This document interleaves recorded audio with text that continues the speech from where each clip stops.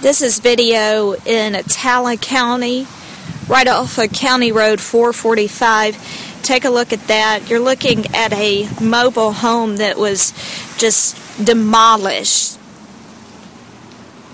There's really nothing left. And then you take a look back here. That's a looks like a light pole or power line pole that you're looking at toppled down there. But take a look at this a car flipped upside down.